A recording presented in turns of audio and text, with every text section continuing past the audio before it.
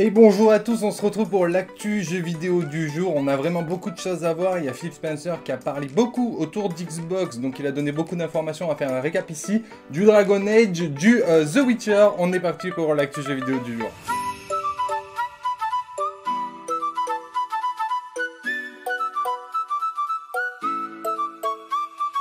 Allez, on commence par parler de Xbox. Comme je le disais, il y a eu pas mal d'informations qui sont sorties autour des finances, etc. On va vraiment passer les détails, mais rester sur euh, le plus important. La première chose concerne la série S. Apparemment, 50% hein, des gens qui ont acheté la série S sont des nouveaux utilisateurs d'Xbox. Comme quoi, la série S fonctionne vraiment très bien dans l'idée des gens de se procurer un complément. Je pense que c'est plutôt ça, un complément à la PlayStation 5. Parce qu'un joueur Xbox va plutôt partir, je pense, sur une série X en machine principale la série S, c'est un bon complément, c'est un bon moyen d'accéder au Game Pass et aux exclusivités Xbox pour pas trop trop cher. Donc je pense que c'est ça qui explique le fait qu'il y ait beaucoup de nouvelles utilisateurs qui, ont, euh, qui se sont procurés une série S. Deuxième information importante sur Xbox, ça concerne le Xbox Game Pass. Il y a Phil Spencer qui a dit clairement que euh, le Xbox Game Pass était totalement rentable. Il y a 25 millions d'abonnés, ça c'était les chiffres qu'on avait avant, ils n'ont pas été mis à jour, et le service réaliserait entre 10 et 15% du chiffre d'affaires de la branche euh, jeux vidéo de Microsoft. Donc c'est pas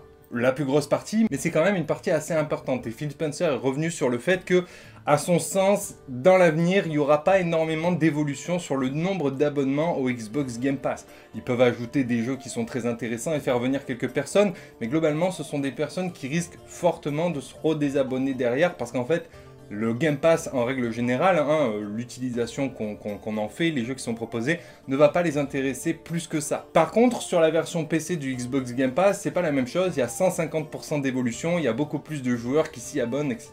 Donc le marché est encore pas tout à fait stabilisé sur PC. Il y a encore beaucoup d'abonnements à prévoir de ce côté-là. Donc il explique que euh, à terme, le Xbox Game Pass n'atteindra jamais 70 ou 50% du euh, revenu généré par Microsoft et que la situation actuelle leur convient parfaitement. Faut dire qu'un abonnement Xbox Game Pass c'est 10 balles, 28 euh, millions de personnes, ça représente un sacré chiffre, 280 hein, millions d'euros. C'est quand même une belle somme tous les mois. Et on va parler justement des prix parce que bah, Xbox est en train d'envisager possiblement d'augmenter les prix. Voici ce qu'il dit de manière très officielle. Je pense qu'à un moment donné, nous devons augmenter le prix de certaines choses.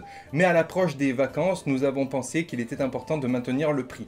Voilà, donc la chose est dite, hein, il va y avoir des augmentations. Donc est-ce que ce sera le prix de la console comme l'a fait euh, PlayStation? Est-ce que ce sera le prix des jeux à l'unité qui va passer à 80 euros comme le fait aussi PlayStation Ou est-ce que ce sera les abonnements qui vont augmenter hein, L'abonnement au Xbox Game Pass, bah, c'est possible que ce soit un petit peu tout, on ne sait pas où est-ce qu'ils vont tabler, mais l'idée générale de toute façon c'est d'augmenter le prix des choses. Ce qu'il faut comprendre, c'est que même si ça fait chier, hein, moi aussi ça me fait chier euh, que les prix augmentent, etc., mais il faut se rendre compte d'une manière générale que euh, tout augmente dans le monde. Hein, et à partir de là, du coup, les frais d'usine sont plus importants, les frais de transport sont plus importants. Bref, si tous les frais d'une société augmentent, hein, euh, l'essence, etc., globalement, c'est difficile, voire impossible d'absorber toutes les augmentations pour une société de maintenir ses prix en réalité. Donc, il y a forcément des augmentations qui vont se faire dans tous les domaines, hein, parce que ben, c'est la base en fait qui augmente, tout ce qui est matière première, etc. Si la base augmente, la société ne peut pas tout absorber et forcément ça a des répercussions après sur le consommateur qui devra payer ben, cet écart de différence. Microsoft ne gagnera pas plus d'argent forcément avec, mais euh, réduira justement l'augmentation des coûts euh, générés. Il y a d'autres paramètres à prendre en compte, mais ça vous donne un ordre d'idée de la vision des choses. Et si c'est l'abonnement Game Pass, hein, ne serait-ce qu'augmenter de 1 euro euh, l'abonnement au Xbox Game Pass, de le passer de 10 à 11 euros, bah, c'est mine de rien, euh, sur 28 millions d'abonnés, bah, 28 millions d'euros de plus générés par mois. Donc, certainement largement de quoi couvrir les frais. Donc voilà, il n'y a pas forcément besoin de passer les consoles plus chères, mais si Xbox souhaite que euh, le Game Pass et son autonomie, les consoles, les jeux euh, voilà, si tout est vraiment dissocié et que finalement les dépenses des uns ne viennent pas se couvrir par rapport aux recettes des autres, euh, il se peut qu'il y ait une augmentation généralisée du prix d'Xbox. Donc il nous, en touche deux mots, hein. il va vraiment y avoir des augmentations. Maintenant, où, quand, comment, euh, bah, ce sera très certainement après les vacances du coup pour arriver probablement sur début d'année prochaine, un truc dans le genre, on verra bien entendu, je vous tiendrai informé par rapport à tout ça. Dernière chose par rapport à Xbox, on parle de Call of Duty, hein, encore une fois au centre du débat de l'achat d'Activision Blizzard. Ils en parlent du coup de manière plus officielle aux joueurs cette fois-ci, hein, ça s'adresse directement à nous. Call of Duty tout particulièrement sera disponible sur PlayStation. J'adorerais voir la franchise sur Switch, j'adorerais voir le jeu jouable sur de nombreux supports différents. Notre intention est de traiter Call of Duty comme Minecraft.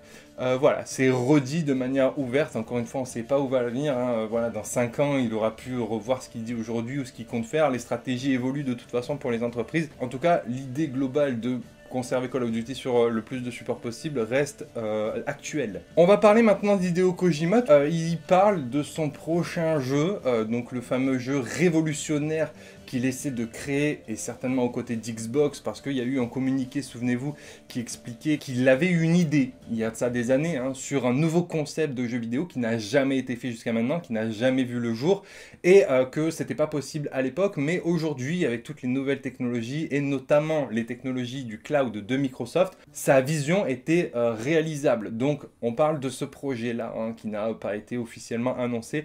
Voici ce qu'il dit euh, de nouveau. C'est presque comme un nouveau média si ça marche, ça changera les choses, pas seulement dans l'industrie du jeu vidéo, mais aussi dans celle du cinéma. Donc voilà, son idée, elle a l'air énorme, j'ai aucune piste vraiment de, euh, de, ce que ça pourrait être, parce que si on parle de métaverse ou d'un truc comme ça, ben, ça existe plus ou moins déjà, ou c'est plus ou moins déjà euh, en création. Donc franchement, moi, à titre personnel, j'ai vraiment aucune idée de ce qu'il pourra proposer. Bref, il continue en disant, vous pouvez avoir des expériences réussies, mais il y a une longue distance entre une expérience et une autre qui fait partie de votre quotidien. Voilà, petit indice en plus. C'est certainement le projet, vous savez, avec l'image qu'il y avait eu euh, Who I Am. Je pense que c'est peut-être ça que je vous mets en fond pour illustrer le, euh, le truc. Et après, il revient sur le fait que innover, c'est toujours dangereux. Que la première personne qui crée, bah, elle prend des risques, c'est difficile, elle a énormément de, de contraintes et de difficultés, il faut s'adapter, etc. Et elle prend des risques aussi que ça ne marche pas, hein, parce qu'on se lance sur un marché finalement qui n'existe pas, ou un nouveau modèle, ou quelque chose dont on n'est pas sûr que les gens puissent accepter euh, au quotidien. Bref, pour la première personne, tout est difficile, mais je veux le premier, je veux continuer à être le premier. Voilà la fin de ces paroles. Donc euh, oui, ok, très bien. Euh, moi après, je, pense hein, qu'il faut rester dans quelque chose d'assez terre à terre. Hein. Voilà, Hideo Kojima, c'est un bon orateur, il a tendance à beaucoup parler, beaucoup vanter les mérites de son travail aussi.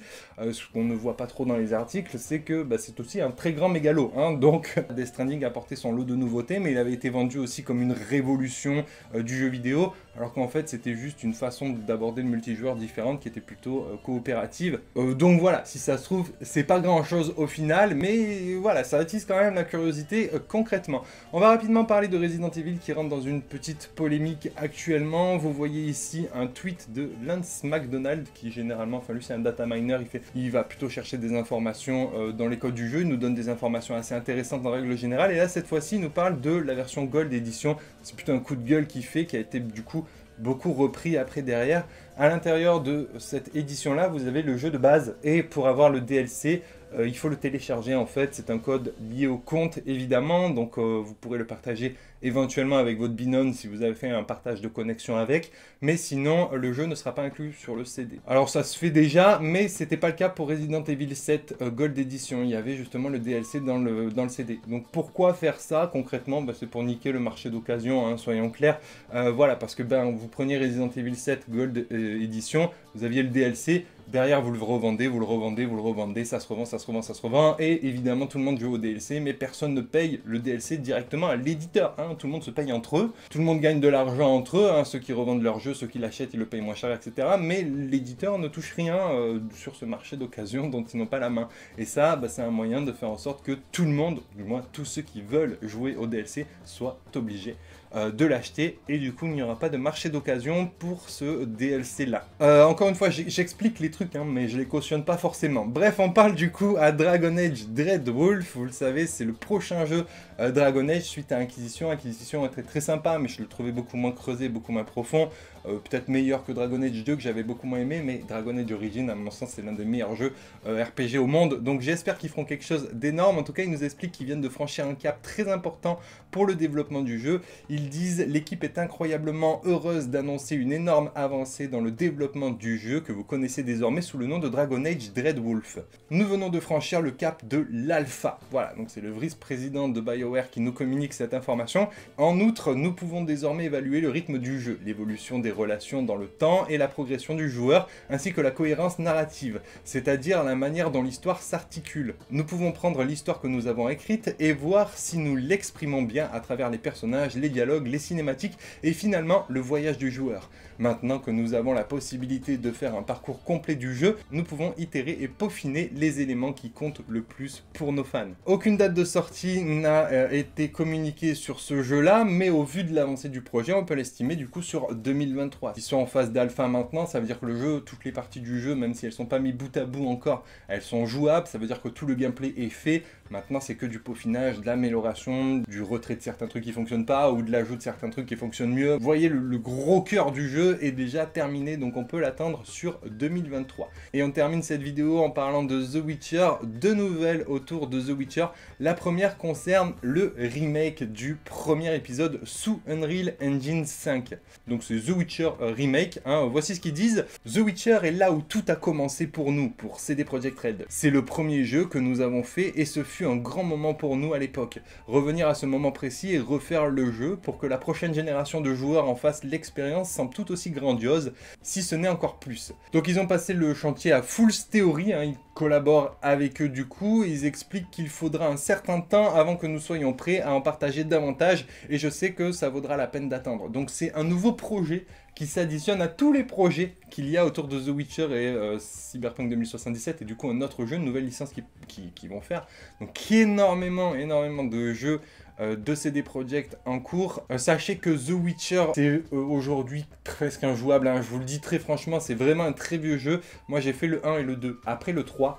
Et franchement le 1 c'était dur, c'est dur. Le 2 ça passe encore, mais le 1 c'était vraiment très dur. Et scénaristiquement parlant, c'est pas non plus une grosse dinguerie. Donc s'ils font remake, j'espère qu'il sera beaucoup plus travaillé que le jeu d'origine pour finalement apporter du contenu supplémentaire à l'univers de The Witcher et pas rester sur la base euh, du jeu qui était quand même à mon sens assez euh, faible. C'était leur premier jeu, euh, voilà, ils n'avaient pas le budget qu'ils avaient à la base, tout s'explique hein, bien entendu, surtout qu'il était bien noté, il était certainement bien pour l'époque, mais aujourd'hui c'est quand même un très vieux jeu, donc espérons qu'ils fassent un travail vraiment modernisé, et évidemment sous Unreal Engine 5, vu qu'ils sont en train de travailler tout leur jeu sur ce moteur graphique, ce qui permet bah, de faire ça justement, hein, d'étalonner les textures, de partager les, les animations, etc.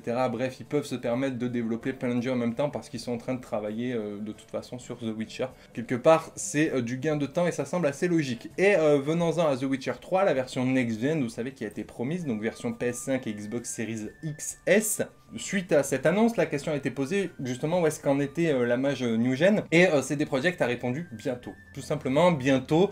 Donc ça veut tout dire et rien dire. De base, elle est prévue sur cette fin d'année, mais ils ont étoffé un petit peu plus leur réponse en expliquant qu'ils allaient très prochainement nous partager des informations autour de cette version-là. Peut-être qu'elle a déjà été reportée, j'ai oublié. Je sais plus si elle est censée sortir euh, fin d'année ou début d'année prochaine. Il y a tellement de reports chez CD Projekt de toute façon que c'est difficile de se rappeler de tout. Excusez-moi si je me trompe. En tout cas, ce qu'il faut se rappeler, c'est que euh, la mage sera totalement gratuite hein, pour tous les possesseurs du jeu de base. Voilà, bah écoutez, on a fait le tour de l'actu jeu vidéo du jour. J'espère que ça vous aura plu. N'oubliez pas le petit abonnement, le petit pouce bleu si c'est pas déjà fait. Je vous dis à très très vite dans une prochaine vidéo. A plus, ciao